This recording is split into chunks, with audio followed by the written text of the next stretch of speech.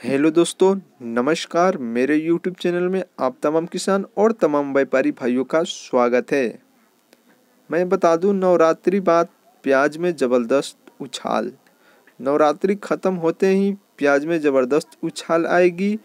किसानों के लिए ये खुशखबरी है। पूरे वीडियो देखने से पहले आप हमारे चैनल को सब्सक्राइब कर दें और एक लाइक ज़रूर करें और पूरे वीडियो को देखें। चलिए ये न्यूज़ हम देख लेते हैं नवरात्रि बाद प्याज में ज़बरदस्त उछाल। देखिए, ये है ओनियन प्रिंस, जो अच्छी खबर है। दस रुपये प्रति किलो तक सस्ता हुआ प्याज, नवरात्र ख़त्म होते ही बढ़ेंगी मांग। ये है सत्ताईस अक्टूबर की ये खबर। और ये देखिए, केंद्र सरकार के दखल के बाद प्याज के भाव घटे हैं।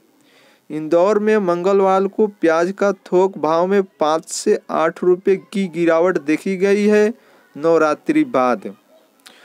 खुदरा सब्ज़ी मंडी में यह गिरावट दस रुपये प्रति किलो तक देखी गई। बावजूद इसके नवरात्रि ख़त्म होने के बाद प्याज की मांग बढ़ेगी। मैं बता दूँ, पहले भी मैं बता दिया हूँ कि नवरात्रि बाद ख़त्म होते ही प्याज का दाम ज़रूर बढ़ेगी। आखिर नवरात्रि बाद प्याज घटी क्यों? प्याज का थोक व्यापारी के मुताबिक, शहर में उम्दा क्वालिटी के प्याज का थोक भाव बयालीस से तैतालीस रुपये प्रति क्विंटल किलो रह गया। घट गया नवरात्रि बाद। एवरेज क्वालिटी का प्याज बत्तीस से अड़तीस रुपये प्रति किलो बिका। कुछ कमज़ोर क्वालिटी का प्याज पंद्रह से सत्रह रुपये भी बिका। स्थानीय मंडी में चालीस से पचास हज़ार कट्टे प्याज की आवक हुई है। देखिए, मैं बता दूँ कि 40 से पचास हज़ार कट्टे आ रहे हैं। सरकार का कुछ दबाव है, जिसके कारण नवरात्रि बाद प्याज घटा हुआ है। लेकिन कुछ दिनों बाद प्याज में ज़बरदस्त उछाल आएगा।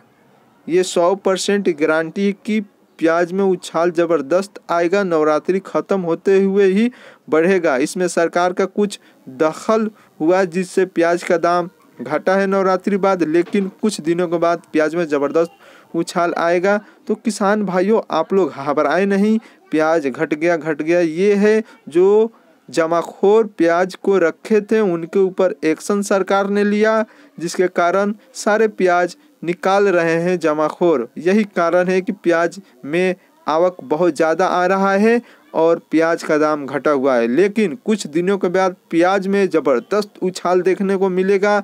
दिसंबर में आप अपना प्याज बेचिएगा, अस्सी नब्बे रुपये के पार बिकेगा। ये सौ परसेंट गारंटी है किसान भाइयों।